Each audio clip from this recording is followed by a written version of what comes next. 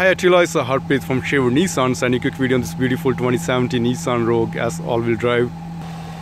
Comes with the beautiful LED lights, uh, block heater, heated and turning LED signal, all power inside, premium cloth seats, eco and all-wheel drive button.